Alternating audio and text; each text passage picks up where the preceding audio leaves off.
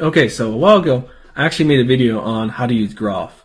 And if you haven't seen that, I recommend you watch it because uh, there's a lot of prerequis- prerequisites you have to know before watching this video. But in that video, I covered the MS macros. And the MS macros are probably the most popular and widely used macros for Groff. Um, there are other macros, but I just haven't covered them yet.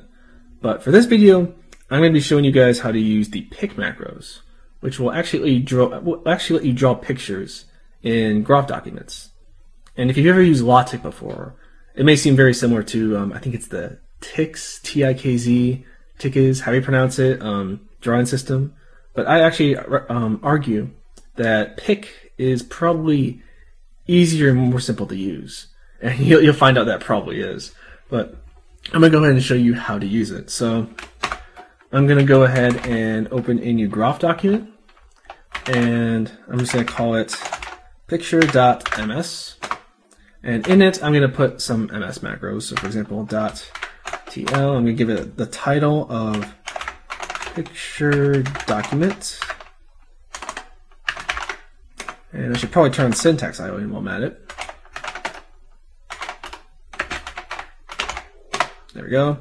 And let me just add some text just to say this is a picture. There we go. And if you know, and if you know MS macros, this should look very familiar. But I'm going to actually introduce two new macros that are very important for using pic. And that and those are dot capital PS for pic start and dot capital PE for pic end. And basically anything sandwiched between these two macros right here will basically tell pic, hey, draw this. So um, it'll actually take those commands and draw into the document. So pic commands are actually very easy to use. Um, so if I just wanted to draw a circle, all I have to do is say circle. And it's that easy. And once I compile it, you'll see that um, it really is that easy. So I'm going to type in Groff picture, MS, and I'm going to pass it dash ms to process the MS macros, but also dash p to process the pic macros as well. And this will, you know, draw the pictures on our document. And we're going to output that as a PDF and put that into picture.pdf. So now if I open that in my PDF viewer, you'll see that now we have our title, but we also have our text and now something new, a picture. So that's ba like bare basics of how to use um, pic.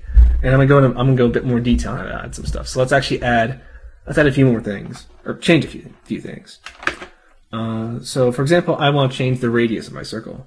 So in order to do that, there's no complicated syntax you need to remember. All I need to say is radius, and let's just say I want to be a two inch radius. I say radius 2i. And so now, if I recompile, if I go ahead and recompile this, me go ahead and do that. Groff our picture ms dash ms dash p.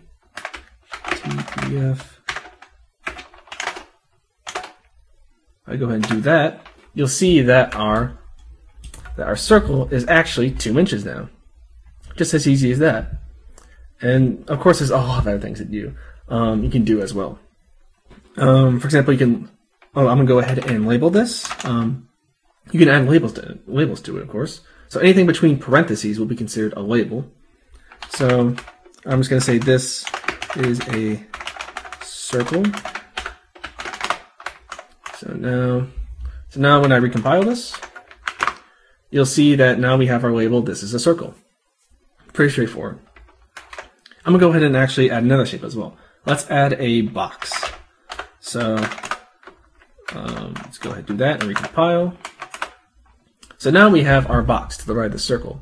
And if you notice something that you notice something that Groff will actually draw pictures from left to right. So it'll draw the circle, then the square to the right, and then another shape to the right. It keep, keeps on going. And of course you can change that. For example, I'll show you in a moment. You can actually draw pictures above and below, or um, below and above, or diagonal, or really any orientation you want. But by default, it draws from left to right. So let's change a few aspects of this box. So I want to say the width is one inch and the, and the height is two inches. And I'm going to say, I'm going to label this box. And you know what? I'm just going to add a second label because why not? So let's just say rectangle because it's a rectangle. Um, so let's recompile that. So now we have our resize box with our two labels in it. So that's basically, you know, majority of the um, majority of the things you can do with shapes. Of course, you can also change things. Like I can have, um, let's do, if I say dashed after box, um, of course it'll give the box dashed lines. But besides that, there's not too much you can do with shapes. Um, there are more, of course, other shapes like arrows, arcs, um, arcs, curves, and just lots of things in general. Triangles. But um, that's majority of shapes. I'm going to be actually showing you how to um, uh, change the orientation, not the orientation, but the location of the shapes themselves. So you can actually see that, you know, like I said before, it draws shapes left to right. What if I want this box below the circle? Well, in between the circle and box commands, I actually have to specify where I want to move the next shape. So let's just say, uh, with the move command, of course. So I say move, let's say down. I want to move down, um, for example, one inch from the last circle. So I say move down one inch from bottom of last circle. And I go ahead and I'm gonna go ahead and recompile this. And oh, uh, scroll down a bit there. But as you can see, we now have our rectangle one inch below our circle. And like I said, these commands are very straightforward and easy to use. All it does is move down one inch from the bottom of our last circle. It's really easy as that. Um, and that's how you move different objects. So I'm actually be showing you how to actually use um, define macros in Pic for pictures, because you can define you can define macros for any macro system. So why is pic an exception? So to be actually showing you how to define some macros. So to, I'm going to go ahead and get rid of all of this right here. And so now, of course, if I recompile our document, we're going to have no picture whatsoever. So let's actually define some macros to reuse. So in order to actually define a macro in pic, you use the define command, and then you give the name of the macro. So for example, I'm going to say tree, and you give it the, where is it, the percent symbol. And to end the macro, it's the percent symbol. So anything between these two um, uh, percent signs is going to be our macro. So I'm going to say line, we're going to create a line, and it's going to go down, let's go 0.25 inches. And after that, let's just say mm, we'll have a line that goes right 0.15 inches. And then uh, semicolons actually separate commands, just like just like in most languages like C or um, shell scripts or really anything. Um, so a semicolon, I'm going to separate line right and have the next command, which is going to be move right. And I'm going to say 0.2 inches. And now we're going to give it this, which if you've used shell scripting before, this will look very familiar. Um, dollar sign one means means hey, this is our um, first argument, and you'll you'll see how it's used in a moment. And it's in parentheses because we want it to be our label. So I'm going to say dollar sign one, and we're going to say left just for justify it to the left. And so that's going to be between that and so now this is going to be our macro, which is going to be tree. And just like any macro, if we go ahead and recompile our document, it's nothing because we, we defined a macro, but we didn't use it. It's just like defining a function in a programming language. You can define a function, but if you don't use it, it's not going to show up or do anything. So I'm going to go ahead and use this macro. So let's say tree, and in parentheses, we're going to give it our argument. So let's say our first item in this tree is going to be uh, our car. How about that? So now when I run this and recompile it, you'll see that we have our beginning of our tree right here, which is car. And you can actually see that the first argument right here, car, is being passed over to this dollar sign one and becoming our label. So that's basically how basically how my macros work. But of course I can also the whole reason we define this macro is to use it multiple times. So let's add a few more items. So I'm going to say car, house, um, dog, money. Yeah, there we go. And so now, if you run this, you'll see that our macro we just defined is um, being used to create this tree. And so that's the basics of defining macros. So now with um, all of our knowledge, I want to create a diagram. A, um, I want to create a diagram of Vim modes. So let's go ahead and do that. So I'm going to go ahead and delete all this text right here, our newly defined macro, and let's create a picture. So um, I'm going to actually go ahead and recompile this, recompile this document so we don't have anything on it. There we go. And so now let's create a diagram. So first things first, we want to say down because we want we want to move down a bit, and I want a I want an ellipse. So we go ahead and do that. Go ahead and do that. And so we have the beginning of our diagram. And in this ellipse, I will say this mode is going to be normal mode. And of course, like I said, this diagram is going to be of the Vim modes. So we have our normal mode. And so now we want to move down, let's say 1.25 inches. And then we're going to have a circle. We're going to have a circle with a radius of, let's say, 0.3 inches. And this circle is going to be labeled insert.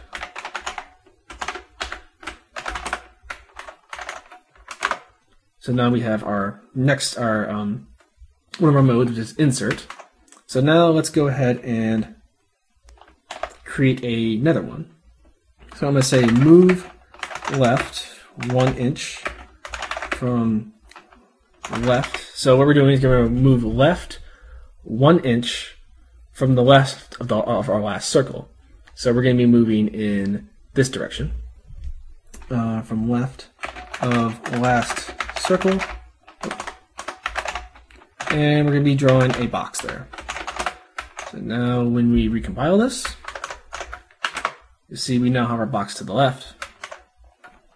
And let's draw another box to the right of our insert circle. So let's say move right one inch from right of last circle. And say, and we'll add a box there. So now we have um, our diagram. Of course, I'll go ahead and label these two boxes.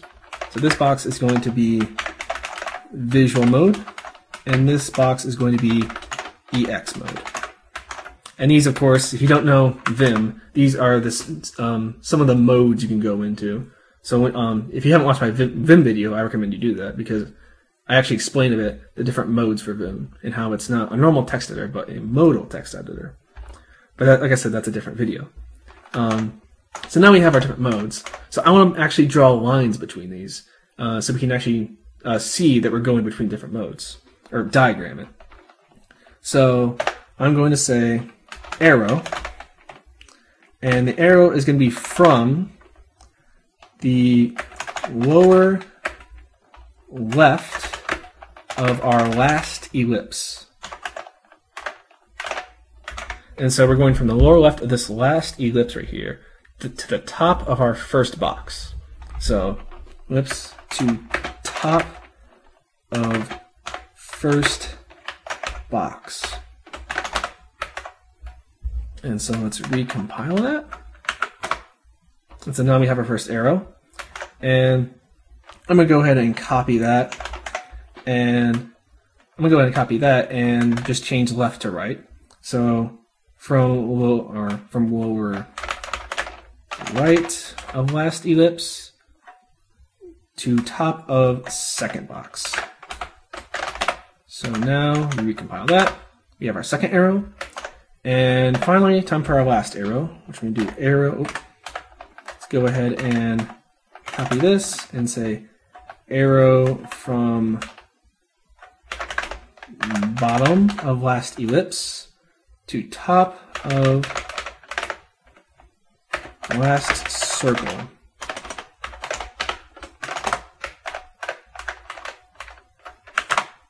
And there we go, there's a diagram.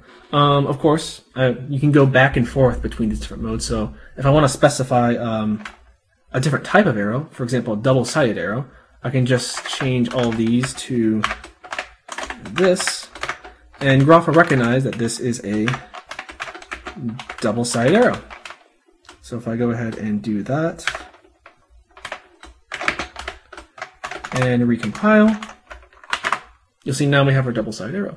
And here's our diagram for um, our Vim diagram. So that's really been the basics of how to use pic. Um, what I just covered is probably I, I, I don't say it's surface level, but it's there's a lot more to pic than what I just uh, I've just uh, showed you guys. It's very they're very deep macros. You can do a lot more with them. But this has just been the basics and how to create simple diagrams and simple pictures.